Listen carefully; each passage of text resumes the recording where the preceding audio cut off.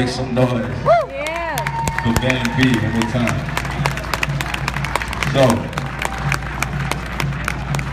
excuse me, so.